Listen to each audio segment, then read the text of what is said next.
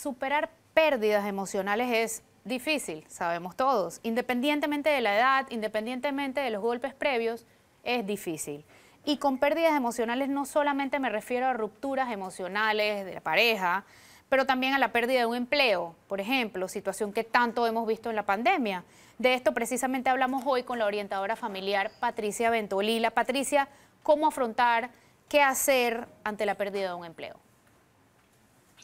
Hola Flor, eh, un tema muy importante. Pienso que para comenzar tenemos que entender que el tema de pérdidas tiene que ver con enfoque, el significado que le damos a las pérdidas. Las pérdidas son parte de nuestra vida desde que nacemos. Cuando somos niños, perdemos en un juego, es como nuestro primer encuentro con perder y muchas veces no aprendemos a aceptarlas como parte de nuestra vida.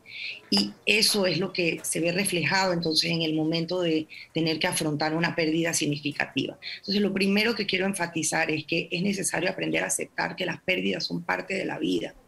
Y si no lo hemos hecho antes, entonces es momento de empezar a verlo no como por qué me está pasando esto a mí, no como algo eh, de culpa o personal.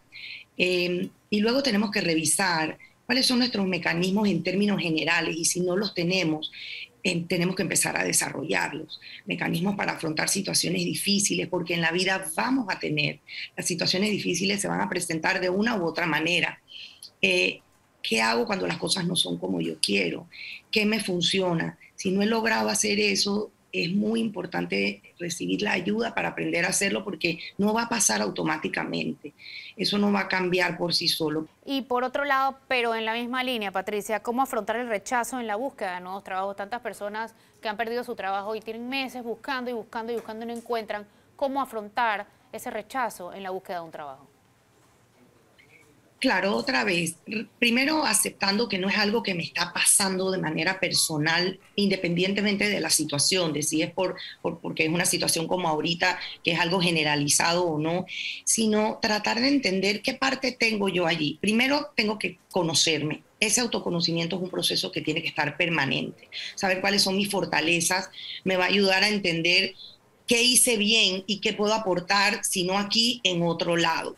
¿sí? Lo que mencionamos antes es muy importante en cuanto a aprender a ver cuáles son mis mecanismos para afrontar estas situaciones difíciles.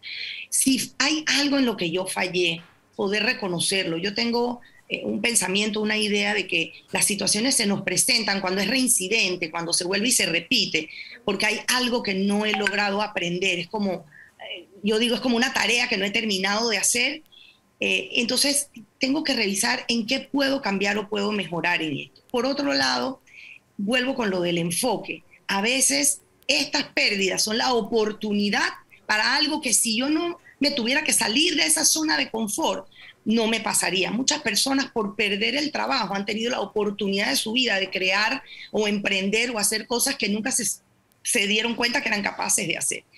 Muchísimas gracias Patricia por hablarnos hoy de cómo afrontar la pérdida de un empleo o el rechazo ante la búsqueda de uno nuevo. Muchas gracias.